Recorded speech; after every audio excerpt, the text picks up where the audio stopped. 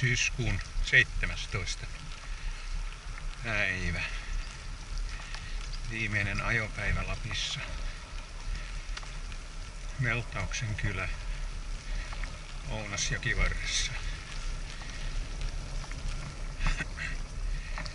Yö meni laavulla mukavasti,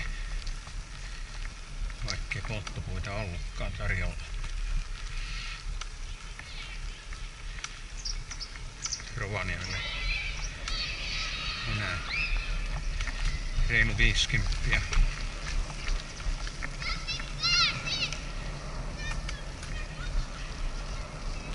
Uimahalli kutsuu.